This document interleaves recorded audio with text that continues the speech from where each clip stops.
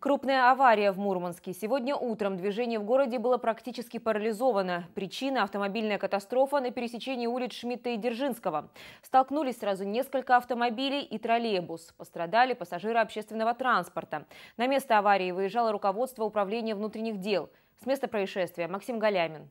По предварительным данным, виновником аварии стал водитель вот этой праворульной Тойоты. Он двигался в сторону юга, не пропустил машины встречного движения и допустил столкновение. Результат – 8 пострадавших. Трое пострадавших были обслужены амбулаторно на месте происшествия. Остальные находятся под присмотром врачей. Детей среди травмированных нет. Пока неизвестно, давал ли водитель Тойоты показания и в каком состоянии он находится. Так что сказать однозначно, кто стал виновником аварии, пока нельзя. Машина вот эта вот поворачивала на Дзержинского. Вон ее следы. И стукнула вот эту машину. А вот как та машина э, оказалась поврежденной, не знаю. Вот. Или она же задела. Видите, его даже развернула в другую сторону, хотя он ехал на Дзержинского. Столкновение произошло в полдевятого утра на перекрестке Шмидта и Дзержинского. Машины разнесло в разные стороны. Авария парализовала все движение.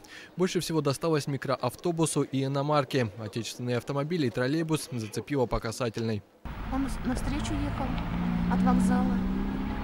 На большой скорости? Да, на большой скорости и не избавляя скорости, стал поворачивать туда. Водитель Калины помнит только то, что у нее перед глазами пронеслось что-то синее. Она до сих пор не может отойти от шока. На своей машине женщина ехала в сторону севера, соблюдая скоростной режим. Аналогичное ощущение у водителя троллейбуса, который вовсе не ожидал столкновения. Ничего не было, он выскочил навстречу. И врезался Навстречу ему, да, я ничего понять не успел. Большинство пострадавших как раз находилось в троллейбусе. От резкого торможения люди попросту повалились. В таком случае мелких травм и ушибов избежать очень сложно.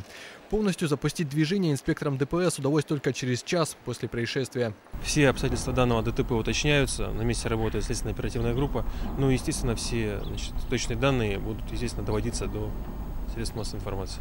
Внести ясность в произошедшее может видеорегистратор, который был установлен в троллейбусе. Сейчас сотрудники автоинспекции изучают все полученные данные. Причины произошедшего и виновник аварии будет установлен в ходе следствия.